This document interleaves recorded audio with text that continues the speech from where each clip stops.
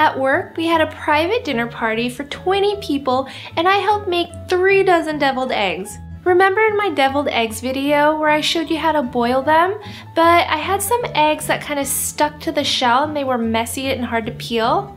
Has that ever happened to you? Where the shells kind of stick to the egg whites and then they end up looking like craters? Well, since then, I found a much easier way to peel an egg, so I decided to share my technique with you. First, I'll take a large pot and fill it with water about an inch high. Now with a steam basket, I'll just place the eggs inside, cover the pot, and let it come to a low boil for 20 minutes on medium heat. If you don't have a steam basket, you can use a metal strainer that fits inside the pot. I'll be careful making sure the heat isn't too high because I don't want all the water to evaporate and burn the bottom of my pot. Here's a tip on how to cook your eggs based on how soft you like it. For slightly runny and soft-boiled eggs, cook it for 12 minutes. For creamy and firmer eggs, cook it for 15 minutes. And for hard-boiled eggs, cook it for 20 minutes.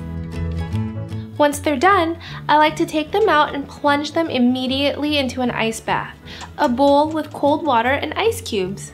I'll leave them in there for a few minutes until they're ready to peel. The shells come off so easily. It's almost like the steam created this pocket of air between the egg whites and the shell. It's the incredible edible egg. These boiled eggs are great to have in the morning for some extra protein. I love sprinkling a little bit of salt and pepper on mine. So simple yet delicious. It really brings out the flavor.